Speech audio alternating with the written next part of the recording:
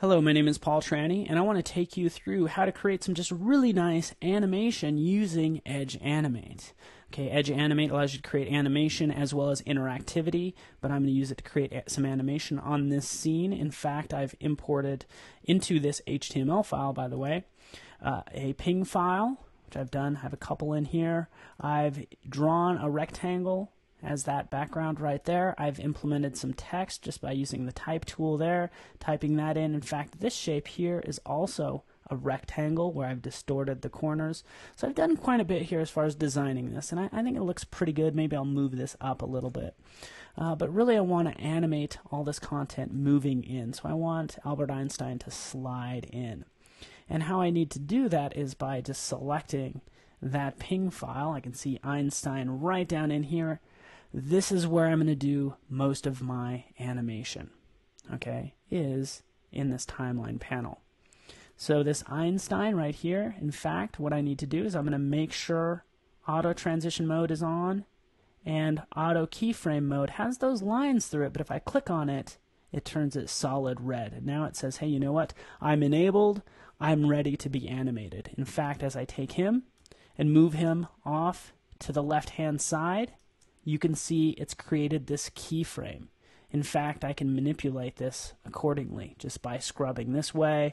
I can use my properties panel, again, just kind of scrubbing that out of the way. A number of ways you can position items, but the great thing is, is I'm able to, you know, position him, you know, off of the stage or viewable area just like that. Okay, now what I can do is I can take this timeline marker and I can position this anywhere. So I can scrub in to maybe about half a second and I can scale this up and down as well.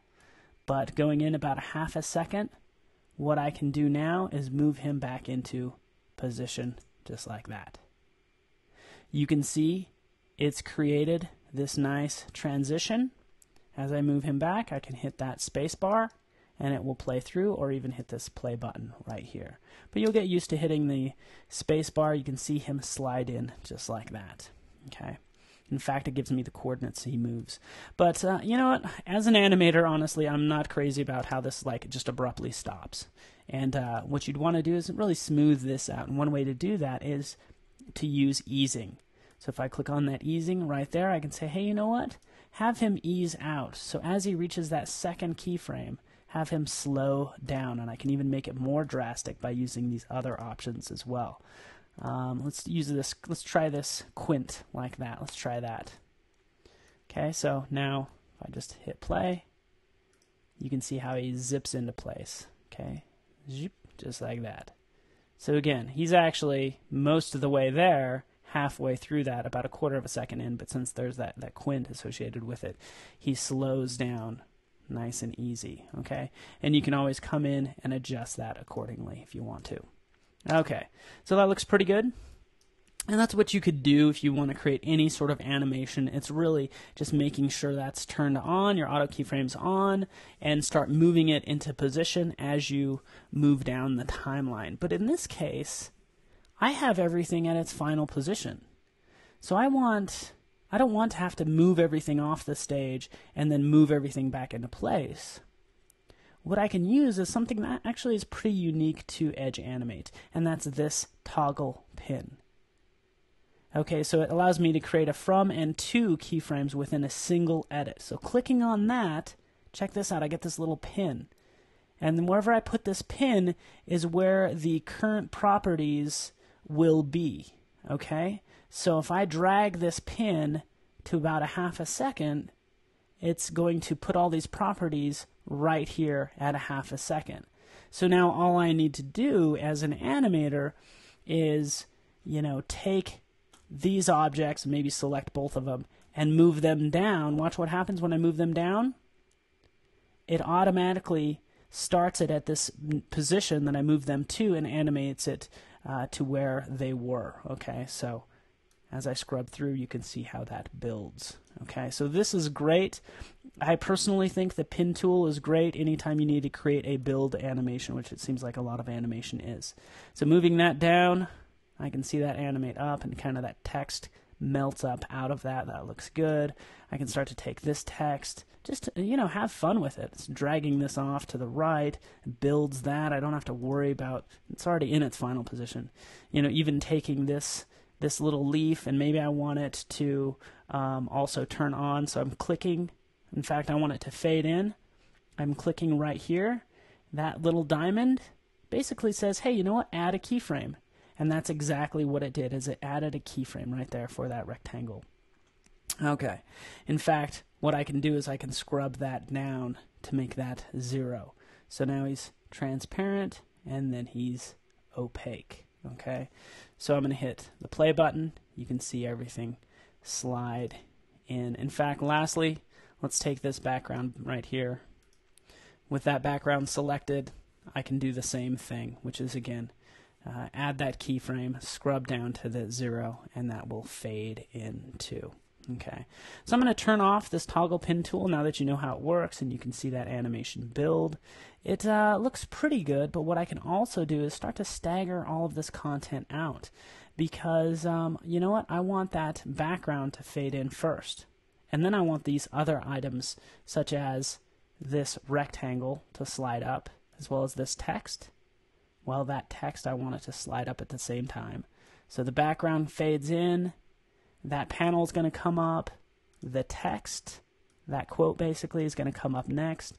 So that comes in maybe about, you know, when it's almost done. That kind of slides in. And right about there, maybe I want that other sort of red rectangle to fade in like that. And let's have Einstein in this case I'm going to take Einstein, and he is actually going to move in through the course of this whole animation, which really only lasts for about a second and a half. So I've just stretched that out. Now I hit the space bar. You can see how that fades in. You can see him move in. In fact, I'm going to push him out even further, kind of like that. And notice how you'll you might have to scroll this way. Well, what you can hit is the backward slash key on your keyboard, and it will adjust to make sure everything fits within your timeline panel. And now you can see how that kind of comes in like that. That, that. In fact, let's see kind of where this content starts at. Again, this Albert Einstein, that text. Let me move that down further like that. All right, so my animation I think is looking pretty good. I'm going to save this and preview it in a browser. You can see everything kind of slide in. Let's refresh that. You can see everything slide in just like that. All right, notice how you saw stuff that's actually outside of the stage, which is the first thing you'll notice when you're animating.